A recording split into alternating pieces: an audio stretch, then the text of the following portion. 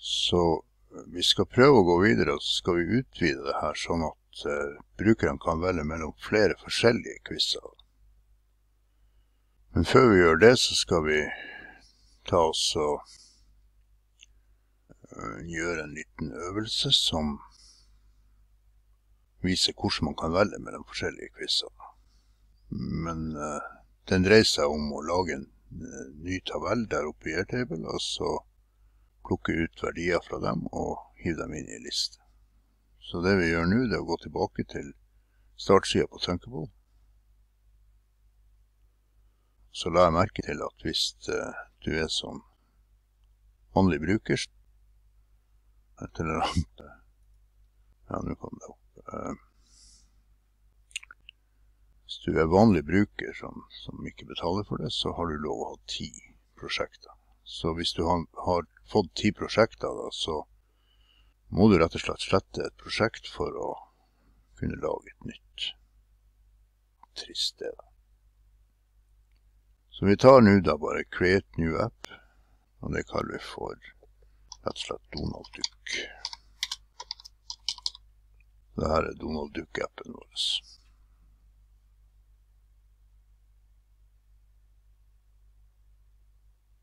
Og det vi skal gjøre der, det er at vi skal bruke Airtable til å lage en liste som vi kan vise på skjermen her.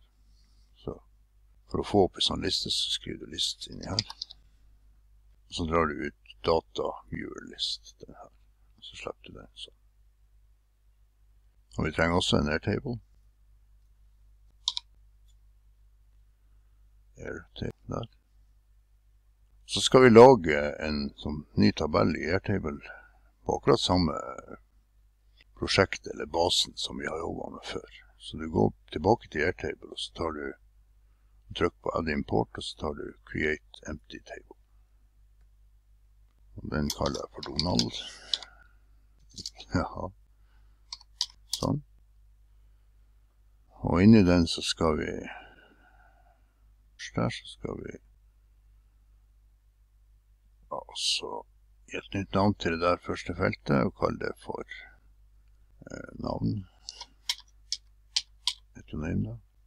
Så skal vi fjerne det her. Og så skal vi ha et, fil, et felt som heter attachments her. Det skal vi beholde sånn som det er. I et sånn attachment-felt så, så kan du legge inn f.eks. bilder eller video. Men vi skal gi det et nytt navn, og så kaller vi det for bilde. Det er status, det trenger vi ikke, så den tar vi og slett.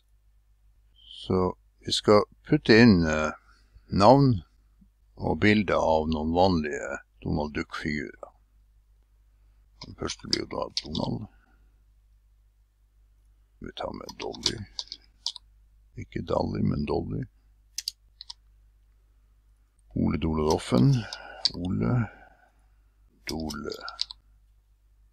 Så Doffen. Kan ta med Mikke Mus. Og Minimus. Vi kan ta med Langbein. Vi kan ta med Bestemor Duck. Være Stole Dykk for det etternavn. Vi kan ta med han onkel Skrue. Og vi kan ta med han Pluto. Det forholdet. Og så må vi gå og finne bilder av de her figurene, og de skal puttes inn i tabellen der. Det får du se i neste video.